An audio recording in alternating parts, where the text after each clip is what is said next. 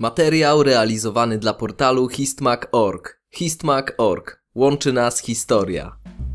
Sebastian Adamkiewicz, Tomasz Leszkowicz. Najwybitniejsi polscy piłkarze.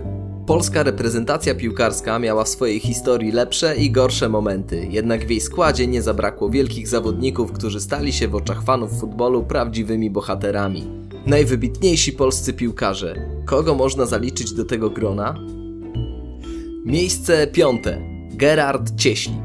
Listę najwybitniejszych otwiera Gerard Cieślik, legenda ruchu Chorzów i najjaśniejsza gwiazda polskiego futbolu powojennego przed pojawieniem się Orłów Górskiego. Urodzony w 1927 roku w Hajdukach Wielkich, dziś dzielnica Chorzowa, Cieślik, tak jak wielu Ślązaków w czasie wojny, został wcielony do Wehrmachtu. W 1946 roku zaczął grać dla ruchu, w którym do 1959 roku rozegrał 249 spotkań, strzelając w nich 177 bramek. Trzykrotnie zdobywał ze swoją drużyną mistrzostwo, a w 1951 roku także Puchar Polski. Dwukrotnie był też królem strzelców ekstraklasy. W barwach niebieskich występował do 1959 roku. W reprezentacji Polski rozegrał 45 meczów, strzelając 27 goli szóste miejsce w rankingu wszechczasów. Wystąpił m.in. na Igrzyskach Olimpijskich w Helsinkach w 1952 roku oraz w słynnym meczu z ZSRR 20 października 1957 roku na Stadionie Śląskim, w którym strzelił dwie bramki. Po zakończeniu kariery pozostał związany z ruchem. Pracował jako asystent trenera, a w 1961 roku przez krótki czas prowadził zespół. Był także, mimo rozegrania mniej niż 60 meczów w biało-czerwonych barwach, członkiem klubu wybitnego reprezentanta.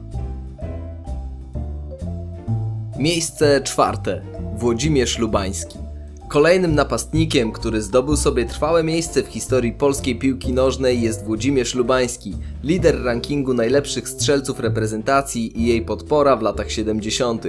Lubański przyszedł na świat w 1947 roku w Gliwicach, tam też rozpoczynając karierę piłkarską. W 1963 roku przeszedł do Górnika Zabrze, z którym osiągał największe sukcesy. Siedmiokrotne Mistrzostwo Polski, sześć razy Puchar Polski, a także udział w europejskich pucharach, w tym finał Pucharu Zdobywców Pucharów w 1970 roku.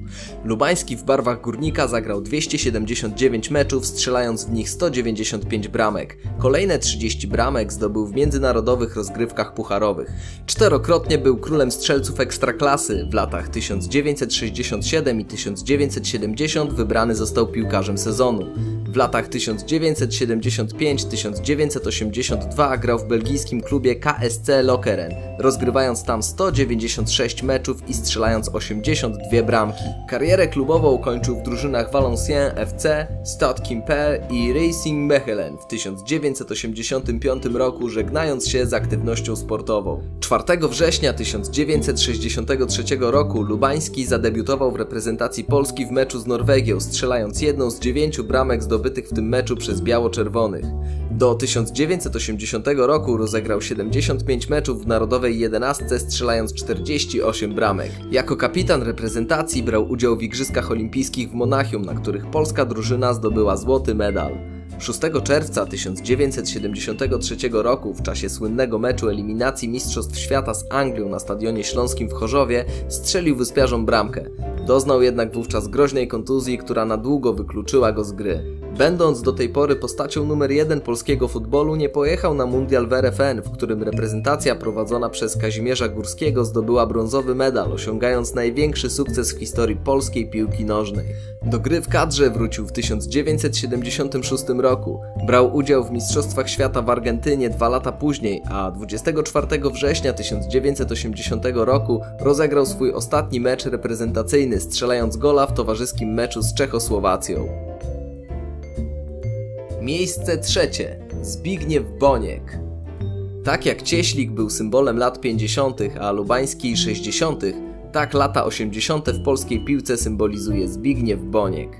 Urodzony w 1956 roku w Bydgoszczy, piłkarskie szlify zdobywał w tamtejszym Zawiszy. W 1975 roku zaczął grę w Widzewie Łódź, po kilku latach stając się fundamentem tej drużyny, przeżywającej wówczas pierwszy okres świetności. Razem z Czerwonymi zdobywał dwukrotnie Mistrzostwo Polski. Łącznie w łódzkim klubie rozegrał 172 spotkania, strzelając 50 bramek. W 1982 roku przeszedł do Juventusu Turyn, z którym święcił największe triumfy w swojej karierze, zdobywając Mistrzostwo Włoch, Puchar Włoch, Puchar Zdobywców Pucharów, a także Puchar Europy po słynnym meczu z Liverpoolem na Hazel w maju 1985 roku, w czasie którego wybuchły zamieszki z udziałem kibiców. W barwach Juve rozegrał 81 spotkań, strzelając 14 bramek. W latach 1985-1988 był zawodnikiem AS Roma. W barwach tej drużyny zdobył Puchar Włoch w 1986 roku. W kadrze narodowej od 1976 do 1988 roku rozegrał 80 spotkań, strzelając 24 bramki. Brał udział w Mistrzostwach Świata w Argentynie w 1978 roku, w Hiszpanii w 1982 roku oraz w Meksyku w 1986 roku. Dwukrotnie wyróżniony wyborem do drużyny reszty świata, znalazł się też na liście FIFA 100 opracowanej przez Pelego. W pierwszej połowie lat 90. rozpoczął karierę trenerską w lidze włoskiej, nie osiągając sukcesów. Od sierpnia do grudnia 2002 roku był trenerem polskiej reprezentacji. Drużyna pod jego przewodem wygrała dwa mecze, jeden zremisowała i dwa przegrała. Miejsce drugie. Ernst Wilimowski. Jedni mówią, że to najwybitniejszy piłkarz w historii naszego kraju. Inni woleliby wymazać go z historii sportu, traktując jak zdrajcę, który podpisał Volkslistę i grał w reprezentacji III Rzeszy. Jedno jest pewne, Wilimowskiemu z pewnością nie można odmówić piłkarskiego talentu. W polskiej lidze strzelił 112 bramek, a dla reprezentacji naszego kraju trafił 21 razy. W całej karierze strzelić zaś miał grubo ponad 1000 bramek. Brał udział w debiucie Polaków na mundialu w 1938 roku. Po ciężkim boju z Brazylią przegraliśmy 5 do 6, lecz Wilimowski pochwalić mógł się aż czterema trafieniami. W ostatnim meczu Polski przed wojną, dzięki jego wspaniałej grze, udało nam się pokonać ówczesnych wicemistrzów świata, Węgrów. Przez większość swojego życia związany był z ruchem Hajduki Wielkie, czyli ruchem Chorzów, z którym święcił liczne triumfy w lidze. Niestety, za Wilimowskim ciągnie się też czarna legenda, podkreślana zwłaszcza w pierwszych latach PRL-u. Choć grał dla reprezentacji Polski, swoją narodowość określał jako Górnoślązak. W 1939 roku podpisał Volkslistę i rozwijał swoją karierę w Niemczech. Grał w kadrze III Rzeszy. W 1942 roku w Bytomiu w jej składzie rozegrał mecz z Rumunią, który obejrzeć miało blisko 55 tysięcy widzów, w tym Gerard Cieślik, dzisiejsza ikona chorzowskiego ruchu. W latach powojennych grę dla Niemiec uznano za kat zdrady i Wilimowski wykreślony został z historii polskiego sportu. Dopiero w 1980 roku Polski Związek Piłki Nożnej docenił jego umiejętności i nadał mu honorową odznakę. Ernst Wilimowski zmarł w Karlsruhe w 1997 roku. Miejsce pierwsze. Kazimierz Dejna. Być może nie był tak bramkostrzelny jak Boniek, potrafił nie wykorzystać rzutu karnego w meczu z Argentyną na Mistrzostwach Świata w 1978 roku, a udzielanie wywiadów było dla niego prawdziwą katorgą. Mimo to, to jednak Dejna uważany jest dziś za jednego z najwybitniejszych polskich piłkarzy.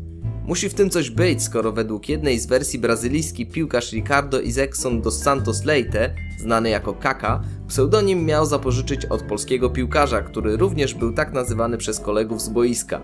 Choć pewnie to jeden ze stadionowych mitów, talentu Dejnie odmówić nie można. Swoją karierę rozpoczynał na Pomorzu, w rodzinnym Starogardzie Gdańskim. Profesjonalną karierę piłkarską rozpoczął jednak grając dla łódzkiego klubu sportowego.